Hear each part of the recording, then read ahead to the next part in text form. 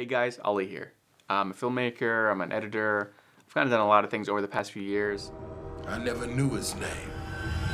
That's part of the deal. One thing I wanted to make a video about is film school. Especially now with COVID, a lot of people are taking classes from home, you know, so a lot of people are not even going to campus. And I was wondering, like, is it even worth it anymore? So I want to talk about my experience, whether or not it's worth it to go to film school, and it might help one of you make your decision out there and could possibly save you thousands of dollars. So out of high school and even before that middle school, I always dreamt about going to USC Film School. That was my dream.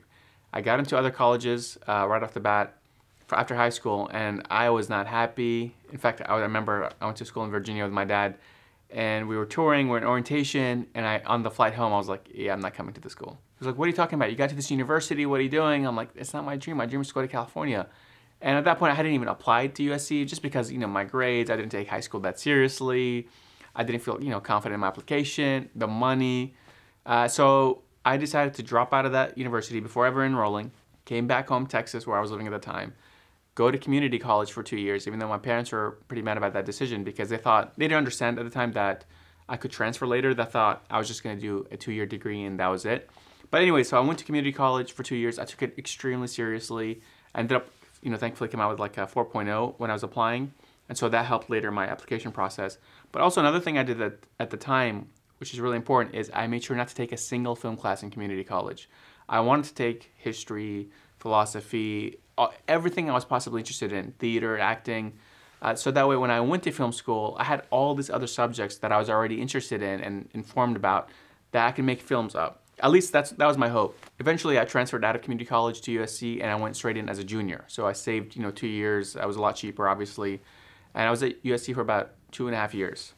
And from there, I, I was in class after class, uh, had an amazing time. And truly, I can say it was one of the best years of my life. You know, from the moment you wake up to the moment you go to sleep, all you do is talk about film, watch film, think about film. You're surrounded by it, and not only that, you're surrounded by people who take it so seriously. You know, I grew up uh, in this like suburbs of Texas.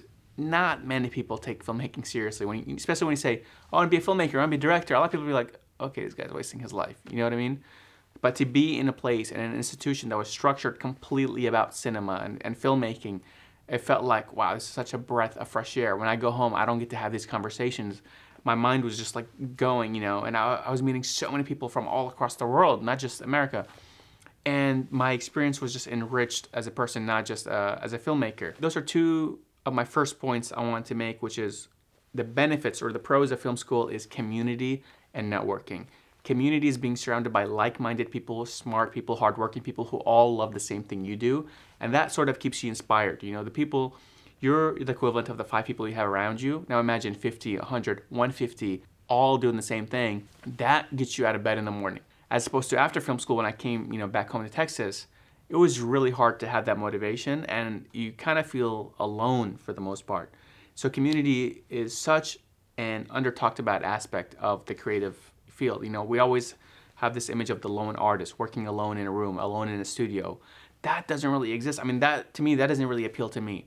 What appeals to me is like talking to so many people, talking to other artists, talking to other creatives, and just kind of being in it together. The vibe of, hey, we're all in this thing together. We're all trying to achieve this dream together, not the lone wolf uh, idea. So community was such a huge reason why I wanted to go to film school.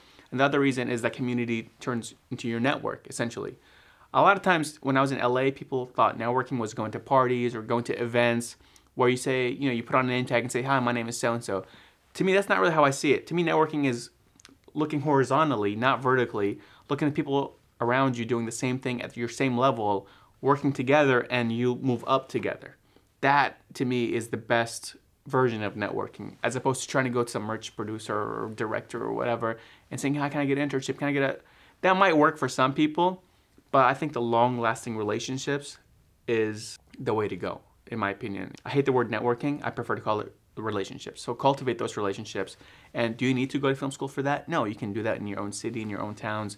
Find people online, especially nowadays. Um, I can't tell you how many times after film school I've created little communities online. I found, just on my last film alone, my composer was from LA, my sound designer was from Brazil. So when was the last time you saw him? Yesterday. They brought him to me.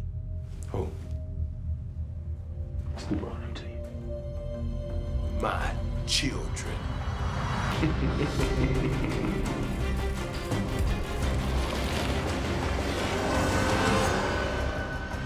the internet is creating different kinds of communities and so that's something to think about. Do you need to be in a in a you know a physical location to have a community or can you do it virtually? That's up to you. For me i think the world has changed. You can totally do it. You can start virtually but i think at some point you either want to meet you want to have a zoom you want to have that face to face or you know you want that human connection so that's networking and that's community building the other thing that isn't always talked about with creatives is deadlines. Some people see deadlines as a bad word. I can't live without deadlines. If you tell me, here, have a project or make a project, but you don't give me a deadline, oh, see me in five, year, five years and I'm still working on it. You know what I mean? So deadlines is your friend. Every semester you have to do a project. Every semester you have to turn in a script or a short film or something. Without those deadlines, I don't know if I'm, I would have made as many projects as I would have, you know, had I not gone to school. And so deadlines are incredibly important for me and it's something I still try to set for my own projects now. For example, it's like, oh, by September I'd like to have this or by December I'd like to have this. They're completely arbitrary. I can change them. But if I if I start becoming flexible with them, then my mind knows, oh, he doesn't really mean it. He's not going to actually do the thing that he said he's going to do by the time he's going to he said he's going to do it. So deadlines was something that was really ingrained in me in film school. Like literally we'd work until the last hour and they would physically come to the editing lab and take our hard drives away. So that really ingrained the sense of, oh, you have to meet your deadline. So a, a lot of the things that are sort of the intangibles is what I got from film school. Yes, the, the classes were okay. Some were great, some were not. Um, you can probably get the same information from books like, you know, you can learn screenwriting from this book right here. Um, everything you need to know about directing, this book right here. And I can go more in depth with uh, future videos, but the information, it's on YouTube and it's in used bookstores. So if you're going to film school for the information, save your money, save your time, go to your local used bookstore and click on YouTube, you'll find it. That's not what you go to film school for, in my opinion. You go for community, you go for networking, you go for a structure, you go for deadlines, you go for, you know, kind of a structured system of learning to where instead of maybe being self-taught over 10 years, they shrink it down to five years. You know, there's a lot of other reasons people go to film school. There's no secret knowledge with filmmaking. It's, that was the one mistake I think I made. Before going to USC, I was like, oh, I'm gonna go, I'm gonna graduate, I'm gonna become the next Spielberg. Well, that didn't happen. All film school can do for you, I would, I, would never forget. I think it was like a few weeks before graduation, I had made my senior thesis film, and there's three of us directors in the, in the workshop, and our directing professor said, look, film school only teaches you the fundamentals. It's up to you to learn the rest for the rest of your life. It's a language. It's a craft. You have to spend the rest of your life really developing and learning. You're not going to learn that in two or three years. Film school is just the fundamentals. And I never forgot that lesson. And so I, have really tried to stay in the student mindset ever since. I still keep like read and rereading the books, watching the interviews. One cool thing that film school did was always invite uh, guest lecturers. You know, so sometimes you'd have literally like Spielberg come in, or you know, famous directors or writers or whatever, and you get to hear them talk. Well, guess what? A lot of those are filmed, and a lot of those are on YouTube. A lot of the ones I attended are actually on YouTube, and I've gone to revisit them just to remember what they said. It's insane how much knowledge is on the internet. It's insane how much knowledge is in books. And so you can create your own guest lectures by watching director interviews, commentaries, uh, master classes online, especially now during COVID. There's so many free events, there's so many free webinars, there's so many master classes. The information is out there if, if that's what you want, if that's what you're missing. If you're missing everything else, go or create it for yourself. Just understand the concept. Understand the concept of deadlines and self-impose them for your friend. Call up one of your friends, call up one of your buddies and say, hey, I need you to hold me accountable. I have to submit a link of a film to you or a script or something by this date or something bad might happen. Publicly shame me. Here's an embarrassing photo of me posted online. I don't know. Do whatever works for you, right? And look, people always, you know, I always see those lists online of here's the directors who didn't go to film school, the Tarantinos of the world, the Chris Nolans of the world. Okay, well, there's also other list of the directors who did go to film school, the Scorseses, Ryan Coogler, who just directed Black Panther, there's so many. Both lists have incredible directors under them, incredible writers, incredible producers.